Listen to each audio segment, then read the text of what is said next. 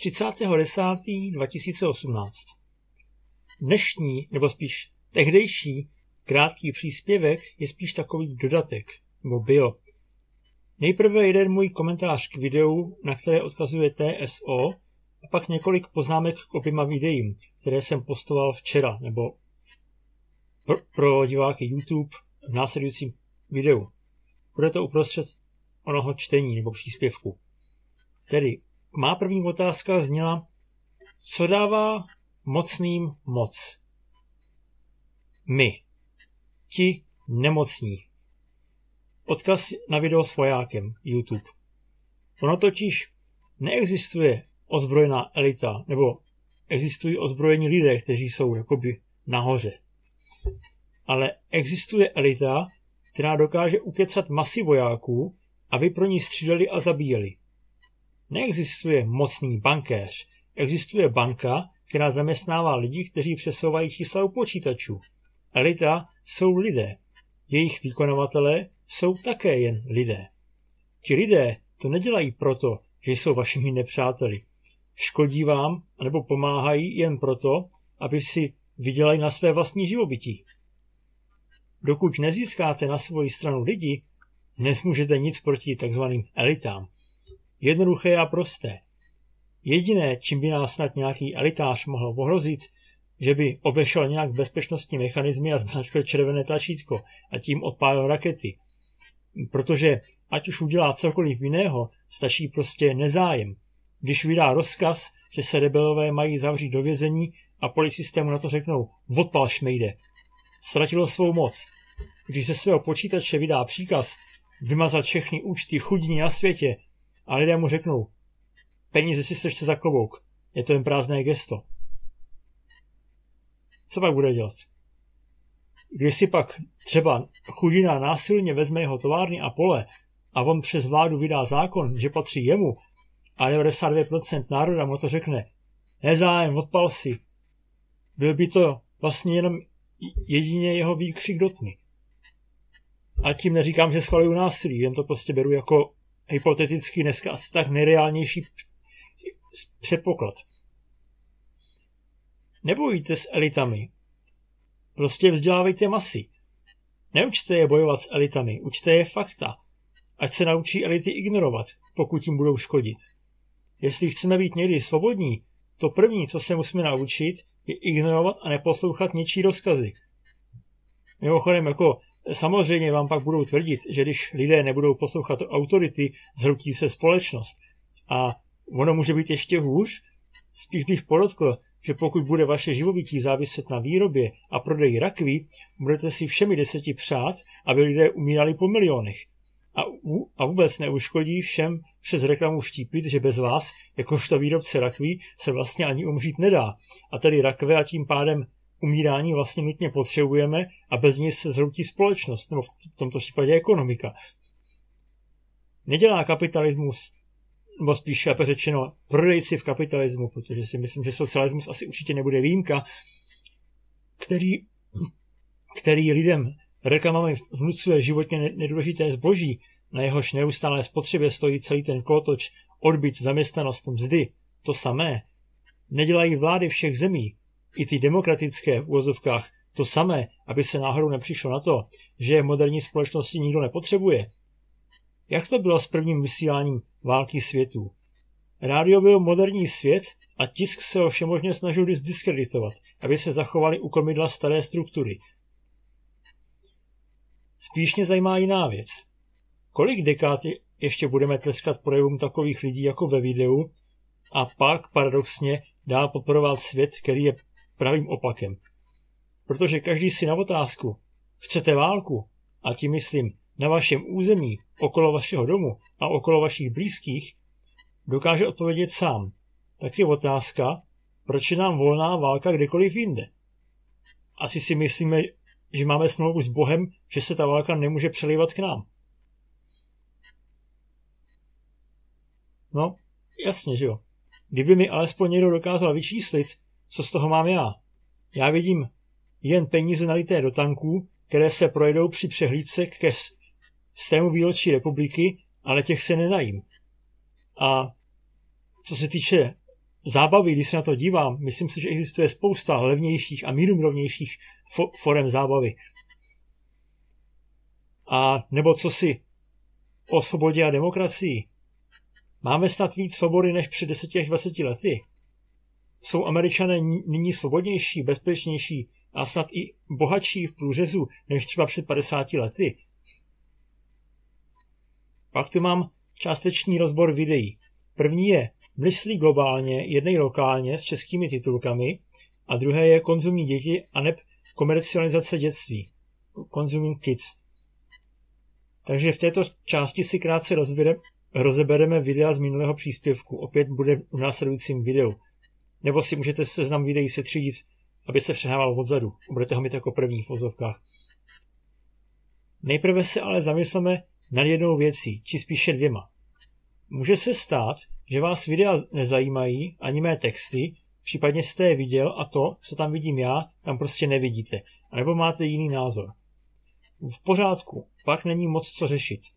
Minimálně se můžete podělit o svůj názor a třeba bude podnětný. Já vás, já vám za to určitě nadávat nebudu. A nebo to tam třeba nechcete vidět, protože je vám to nepříjemné. Pak se ale zeptejte sami sebe. Proč? A pokud s mými závěry souhlasíte, ať už jste video viděl sám a udělal jste si ten samý názor, anebo jen papouškujete, co si myslím, zkuste se zamyslet, proč tomu tak je a co s tím hodláte dělat. Asi nejvíc je třeba se zamyslet, pokud sdílíte můj názor, ale film jste neviděl. Nebojte se, že jste snadno manipulovatelný, že si necháváte vnutit cizí myšlenky bez rozmyslu. Takže první video. Toto video asi netřeba moc komentovat. Ostatně můžete si ho pak pustit. Myslím, že bylo stažený z YouTube. Měli by si ho pustit hlavně ti, kteří si neustále myslí, že planeta současný počet lidí neuživí a proto je třeba nás nějakým způsobem redukovat. Dokument jim poskytne odpověď, aspoň z mého pohledu. Proč nás planeta neuživí? A my ostatní se můžeme zamyslet, zda má cenu a smysl pokračovat v takto nastaveném kurzu. Myslíme si, že si budeme užívat, dokud můžeme, anebo, anebo po nás potopa, ale zapomínáme stále na jedno. Nikdo nám nezaručí, že ta potopa nepřijde ještě ze naší vlády v úzovkách. A hlavně po nás přijdou naše, nebo spíš vaše děti a jestli oni zdědí svět v rozkladu, budou hledat vyníka, na kom se pomstít. A my budeme nejspíš stále naživu, tedy perfektní terč. Video rovněž prezentuje hrozbu migrace. Nikoli v milionové vlně, jak, jaké čelíme teď, ale ani vlastně 200 milionové, kterou jsem přebídal z různých článků, třeba kvůli suchu já, ale až miliardové, myslím tím 800 milionů Afrika, 600 milionů Indie a tak dále. Hypoteticky, kdyby to tak nastalo, kam ti to lidé půjdou? No, samozřejmě k těm bohatším, protože kde nic není, ani smrt nebere. A když tím nedají, když si to vezmou sami násilím? No, toto je síla, se kterou se musí počítat. Mnozí navrhují udělat z Evropy a USA pevnost, postavit okolo hradby a posílat tam armády, které nás budou chránit před těmito podlidmi v úzovkách. Aspoň tak si to většina lidí na, na internetu myslí, která má proti tomu keci. Bohužel si neuvědomují dva problémy. Značná část zboží i potravin, alespoň teda v některých oblastech, se dříve se do dříve samostatné Evropy dováží právě ze zemí třetího světa. Takže stačí, aby někdo zavřel kohoutek a můžeme, můžeme tam poslat všechny armády světa a rozbombardovat to tam třeba na padrč. Ale zvýší to výnosy a tedy nasytí na, naše prázdná břicha. A navíc, a maka tam pak bude kdo? My? To ale můžeme už teďka, že jo? A nebo za B, obrana vnějších hranic bude něco stát. Armáda není zadarmo. Stavba zdí není zadarmo. A ani USA nemá na ten bombastický plot, co si pan Trump vysnil, když možná v současné době myslím, že už ani peníze nějakou sehnala. Ale zase na stranu nedali se utratit líp. Zkrátka, ty peníze se musí někde vzít. Seškrtá se třeba sociální program, školství, zdravotnictví, silniční stavby a opravy, anebo v případě, že by žádné státy neexistovaly, tak by se to vzalo z vaší pojistky, nebo byste si tu armádu museli zaplatit, takže si utrhnout od huby z něčeho jiného. Takže na tom budeme paradoxně víc a víc hůř. Alespoň se z tohohle pohledu. Ale hlavně, že se bude válčit. Co budete chtít ještě vlastně ještě chránit? Schudlou Evropu? Nebo to je váš plán? Takže vezmeme lidi ze služeb a průmyslu, navlékneme je do uniform a poš- pošleme střílet? Kdo bude zajišťovat dnešní životní standard, když se ze všech stanou vojáci a ti ostatní budou vyrábět bomby a tanky? Jo, nebo to je vaše vize, jak si zachovat blahobyt? Není třeba mnohem jednodušší zařídit, aby ti lidé zůstali ze své vůle doma? A jak to udělat? No, máme je živit? No ne. Pro začátek bude stačit, když je přestane v úzovkách výdat, protože v podstatě to oni teď živí, živí vlastně nás. A když už, tak se třeba podělit o know-how technologie, což nás nic nestojí. Pokud si nebudeme pořád hrát nějaký prodej kvůli zisku a udržení zaměstnanosti. Jsou to jen myšlenky, pár dat na internetu či potištěný papír. A vzdělání v podstatě také nic nestojí. Samozřejmě jsou tu lidské zdroje, že jo, ale spousta lidí bere vzdělávání jako, jako koníčka.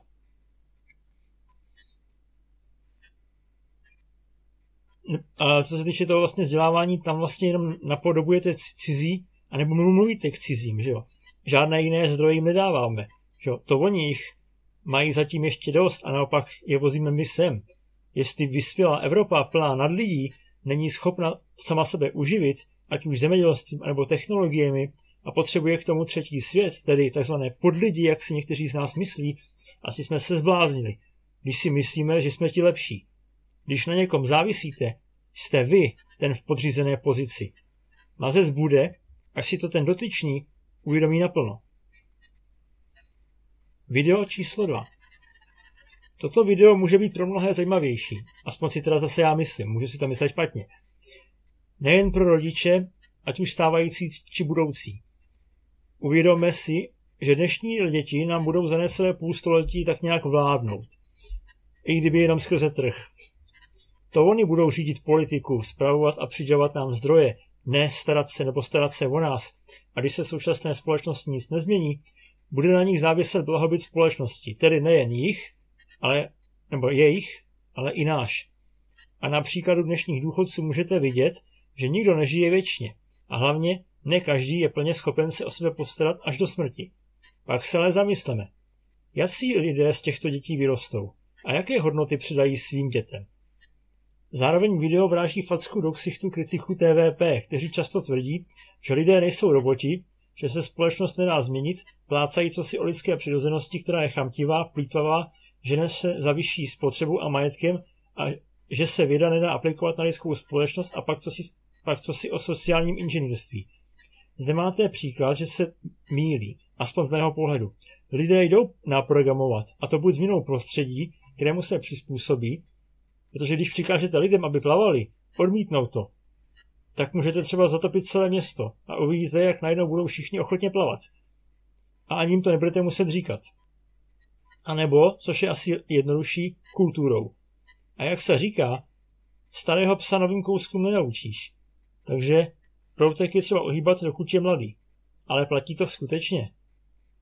Zde vidíte, jak se dá věda stanu aplikovat i na lidskou společnost. Myslím v tom videu. A pochopitelně v monetárním systému i, i snadno zneužít. Nebo lépe řečeno speněžit.